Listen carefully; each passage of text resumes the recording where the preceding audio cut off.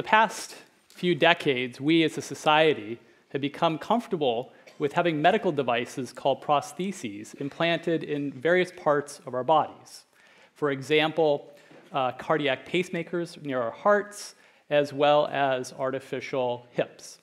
And in more recent decades, we've also become increasingly comfortable with having other prostheses implanted, such as prosthetic legs, prosthetic hands, and prosthetic knees. And what I'm here to share with you today is that this idea has now reached the brain.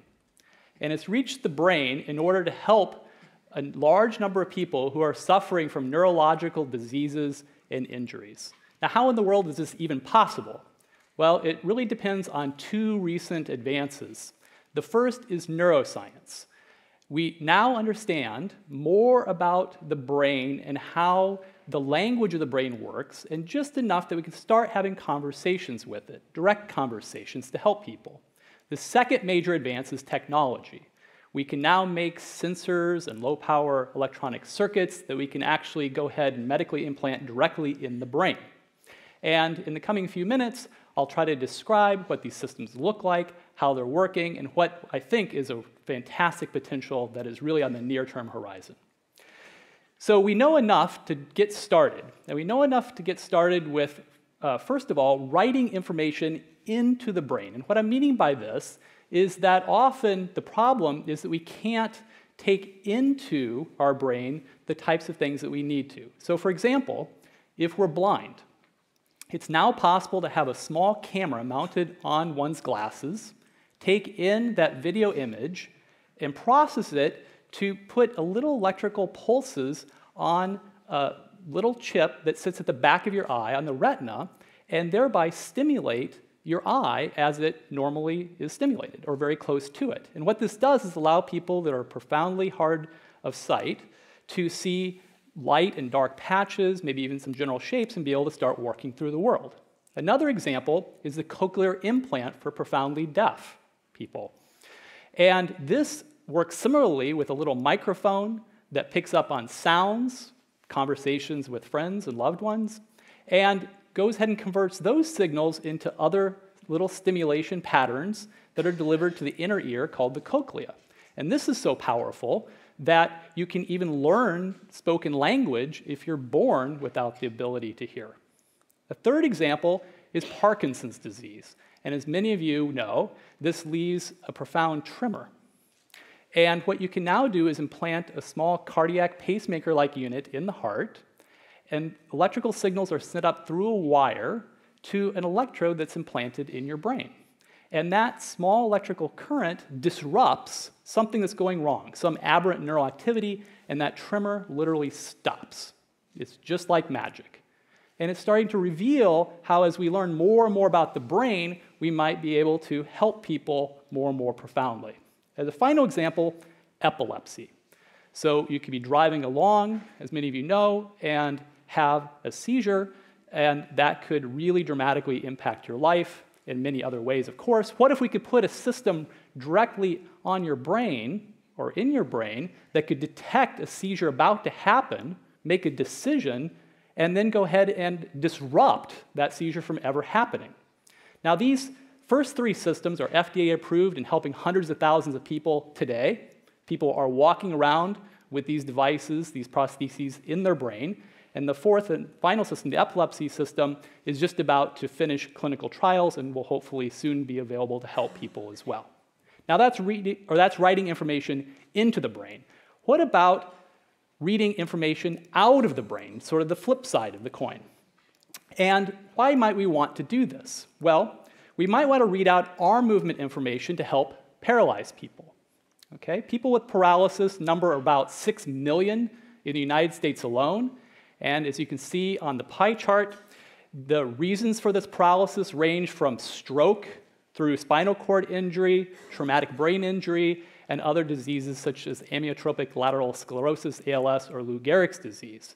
Now, as important as these statistics are, nothing replaces reminding ourselves of why this is so important, and that is the face of the people we're attempting to help. And this is a picture of Christopher Reeve. As many of you know, Christopher was thrown from his horse in the mid 90s, broke his neck, and from that day forward is no longer able to walk, to move his arms, and perhaps less appreciated, was no longer able to speak clearly due to the need for assistance in breathing. And how might we help somebody like Christopher Reeve, who unfortunately passed away a few years ago in really no better condition than during, uh, right after his injury? Well, we might be able to help if we could eavesdrop in on the brain activity where presumably in his brain he still wishes to move. He still intends and desires to move. So if we could pick up those signals and simply decode them, we could drive prosthetic arms or stimulate his paralyzed muscles or move a computer cursor on a screen so he could type out messages just like many of you are doing on laptops and touchpads and computers right now. Okay? so here's an example of a system uh, that has been developed in the past couple of years to help a person suffering from brainstem stroke who is unable to move. As you can see, she's sitting here. A little electrode array that I'll describe more in a moment, about the size of your pinky fingernail, was implanted on the surface of her brain. And during the time of this clinical trial testing, a little amplifier is plugged in. There's ways to get away from that plug in.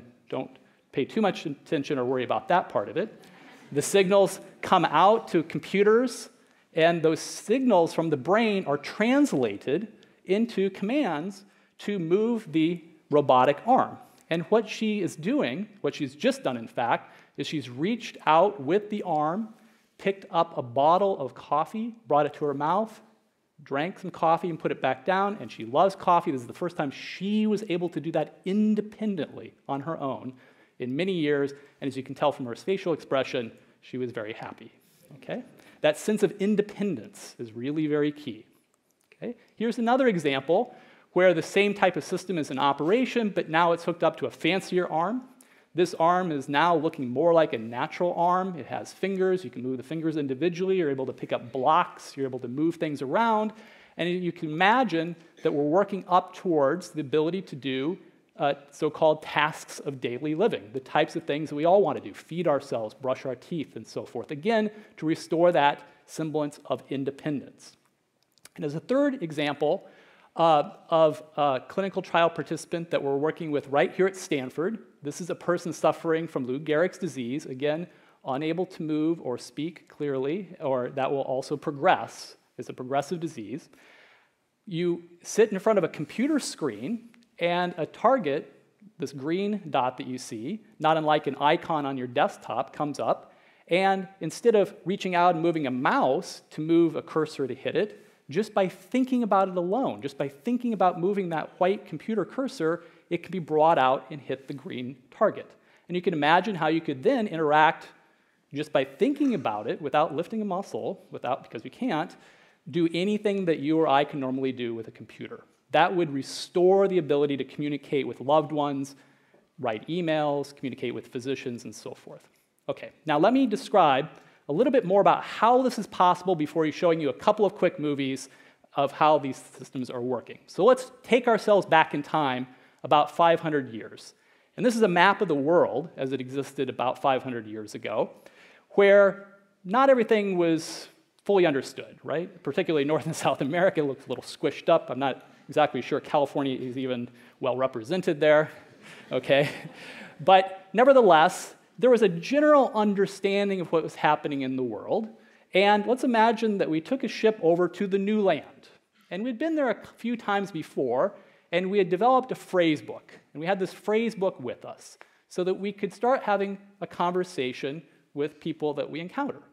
And of course, we're not fluent. We don't know everything that's being said, but we know some phrases, so we might know uh, what is being said roughly, we might help, be able to say a few phrases. So, in that way, when you go to a new land, you have to get by with what you know at the time.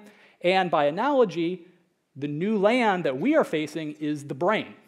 We certainly do not know the full language of the brain, but we know something. This is where neuroscience has brought us as a field in the past several decades. Now, we don't take a ship over to the brain, we take an electrode, shown as the very fine electrical um, electrode, and it comes to rest very close to an individual cell in the brain called a neuron. And what this electrode picks up on is a little electrical pulses. And these electrical pulses, called action potentials, are how neurons communicate with each other and represent information. So what might we hear? Well, what we might hear is uh, voltage as a function of time. We might see that in some period of time, there's a lot of these sharp deflections, these action potentials, and maybe our clinical trial participant was thinking about moving the arm to the left. So if we see a lot of these deflections, we would know that our participant's wanting to move to the left. And when we see no pulses, that could mean that she wanted to move to the right, for example. Okay? So one neuron is really important. It tells us a lot about your desire to move to the left or to the right.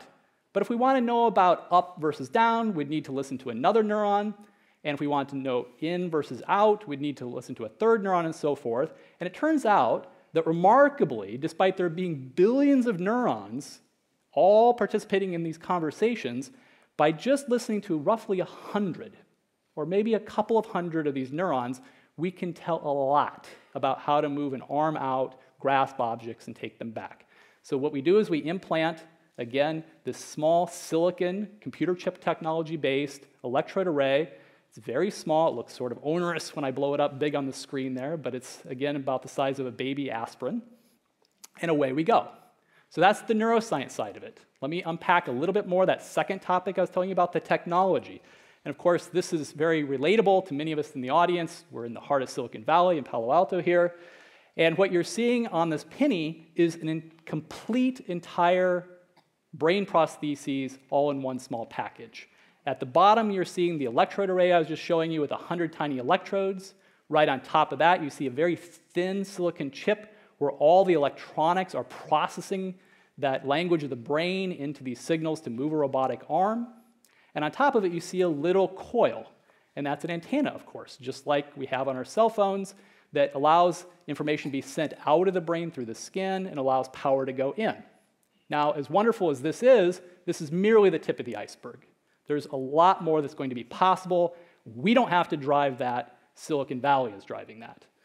There's going to be better wireless powering, lower power integrated circuits so you don't even need as much power. That's important because power is heat. You don't want heat in your brain. Okay? Better mathematical algorithms. These are the decoding algorithms that translate the language of the brain into arm movements. Right? This is my little shout out that math matters. Okay? and also so I won't have 15 PhD students angry at me on Monday morning. and finally, those 100 electrodes, there's no reason we can't make 1,000 electrodes or uh, 10,000 electrodes if we can make each one of those electrodes smaller and smaller and smaller. And this is the subject of so called nanoscience that many of you are hearing about. If we can make things at the atomic scale instead of these larger scales, we can get a lot more information out of the brain by virtue of um, listening to more neurons. Okay, so enough background. How does this work? Let me show you two movies and we'll be done. Okay, so this is a movie of the screen in front of our uh, FDA phase one clinical trial here at Stanford, uh, this ALS participant. And the green target is where uh, the participant would like to move the white cursor. We implant this electrode array that you've now seen once. We bring out these neural signals that you've also seen. We decode, using our mathematical algorithms, the language of the brain into control signals for moving that cursor. Go to this location at this time, go to this location at this time, and so forth. Those are the commands you need to send to a cursor or a robotic arm. And this is how it works when she tries to move this white computer cursor. You can see, and this is playing in real time, you can see that the cursor is able to go out fairly straight, fairly quickly, and come to stop, rest on that target, and that's how it's selected. Okay? So that's pretty good if you can't communicate in any other way. Okay? Now, is that as well as we think we can do? No, we think we can do better. And I also like to give you a better picture in your mind in terms of what that could look like if you hook it up to a keyboard. So for that, we turn to the research that we do in our laboratory with animal models. And what you're now looking at is, again, a computer screen sitting in front of an animal. And now you're seeing 36, six by six yellow uh, circles. And any one of those yellow circles could be a target. Why 36? Well, there's 26 letters in the alphabet, and there's another roughly 10 numbers, okay? 0 through 9. So you could put all the information that's essential on your keyboard into this pattern. Now, by turning one of those targets blue, or a different color in this case, that indicates where the white cursor should be moved, again, by thought alone. Just by thinking about moving the white cursor to hit the colored target, we can do so. Now, our animals do not know letters, okay? if I could teach them that, actually, if I could teach an elephant that, as per one of the previous talks, that would be very cool. Uh, that would be great, but they don't, of course. So I'm just overlaying these letters and these numbers only for the purpose of helping you see what we could liken each location to, just as a keyboard is nothing more than a physical mapping of keys. Okay? So this is how the system works. You can see that the target is able to again, or the cursor is able to again move fairly quickly in a fairly straight line. And by coming to rest on the target for about a half a second, it's like hitting the key. And what's happening when a key is hit is that those letters are being translated down to the lower part of the screen. And as you can see, uh, this animal is saying, hello world, my name is Jenkins, okay? Now, in conclusion, brain prostheses are arriving now. This may surprise many people. There are thousands and thousands of people walking around in this country, this in the world today, with brain implants. And that, again, is just the tip of the iceberg. There's going to be, as we learn more about neuroscience and advance the technology, just an explosion of possibilities. In the near future, this is what might be possible, we believe, which is to go ahead and read out from some area of the brain, as I've shown you. Let's call that area A. And what the prosthesis would do is it would read out area A, for example, move a prosthetic arm, but now when you reach that object, you also want to feel it. Well, we can certainly put sensors on the robotic arm, and that information from the sensors can actually be written back into the brain. And that sense of touch is what Allison Okamura, who will be speaking in a few talks from now, will be describing more the sense of touch. And we can write that back into the area of the brain that's normally responsible for the sense of touch, area C here. So we can do this closed loop control and really keep making that prosthetic arm feel more and more natural. Now, what's on the slightly farther future, but still very imaginable, people are working on these types of systems, we are as well. Well, let's imagine that now we have an area, let's call it area B, that has received some sort of injury, for example, a stroke.